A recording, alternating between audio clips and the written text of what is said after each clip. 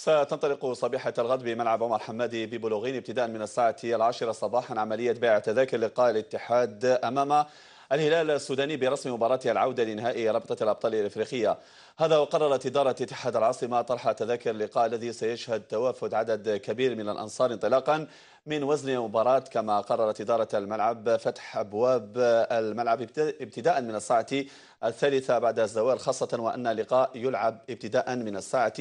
التاسعة والنصف ليلا.